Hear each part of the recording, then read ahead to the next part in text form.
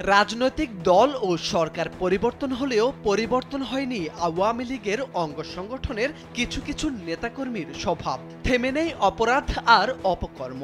এবার প্রকাশ এসেছে যুবলীগ কর্মীদের প্রতারণা আর চাঁদাবাজি। ছাত্র দলের নাম ভাঙিয়ে পিকনিকের নামে চাঁদা তুলতে গিয়ে আটক হয়েছেন যুবলীগের তিন কর্মী। সোমবার বিকেলে ঠাকুরগাঁয়ের বিভিন্ন স্থানে চাঁদা তুলতে গেলে তাদের হাতে নাতে আটক করে পুলিশের কাছে দেন ছাত্রদলের নেতাকর্মীরা।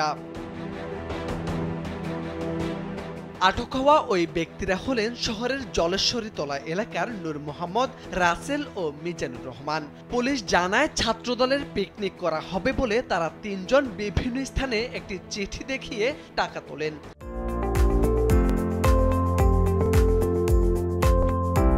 কিন্তু ধরা খাওয়ার পরে স্বীকার করেন তারা আসলে যুবলীগ কর্মী জানা গেছে, আটকের পর আদালতের মাধ্যমে জেলে পাঠানো হবে তাদেরকে।